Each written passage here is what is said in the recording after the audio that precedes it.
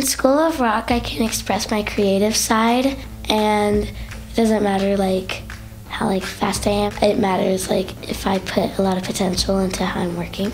School of Rock has been a positive influence on my daughter because she is more willing to get out there and try new things now.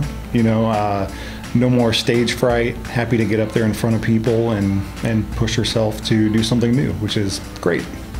Whenever I was younger, I played guitar, but I didn't really push myself as hard. But then whenever I got here, I learned like like big songs, and we got to play in concerts, and I actually got more attached to my guitar.